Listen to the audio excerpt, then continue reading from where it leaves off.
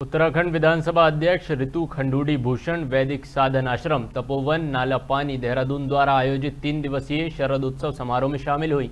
यह समारोह उत्तराखंड की सांस्कृतिक और धार्मिक धरोहर का उत्सव है, जिसमें विभिन्न सांस्कृतिक कार्यक्रम, शैक्षणिक गतिविधियाँ और समाज सेवा से संबंधित कार्यशालाएँ आयोजित की जा रही हैं।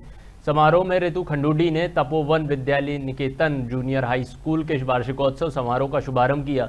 समारोह के दौरान विद्यार्थियों ने विभिन्न सांस्कृतिक प्रस्तुतियों का आयोजन किया गया, जिसमें नृत्य, संगीत और नाटक शामिल थे। इन प्रस्तुतियों ने दर्शकों का मन मोह लिया और सभी उपस्थित व्यक्तियों को भारतीय संस्कृति की गहराई का अनुभव कराया। समारोह में ऋतु खंडूडी भूषण ने विद्यालय के मेधावी छात्र छात्राओं को पुरस्कृत कर सम्मानित किया। इस अवसर पर विधानसभा अध्यक्ष ने विद्यार्थियों को संबोधित करते हुए उनके भविष्य की दिशा में मार्गदर्शन दिया उन्होंने कहा, शिक्षा ही वह साधन है जो समाज में परिवर्तन लाने में सक्षम है। आप सभी को चाहिए कि आप अपनी शिक्षा को न केवल अपने लिए, बल्कि समाज और देश के उत्थान के लिए उपयोग करें। ऋतु खंडूडी ने विद्यार्थियों को आत्मविश्वास और मेहनत के साथ अपने लक्ष्य की ओर बढ़ने के लिए प्रेरित किया। उन्होंने कहा, कोई भी लक्ष्य असंभव नहीं है अगर आप सही दिशा में प्रयास करते हैं। विधानसभा अध्यक्ष ने कहा कि आर्य समाज के राष्ट्र रक्षा में योगदान पर विशेष ध्यान केंद्रित किया।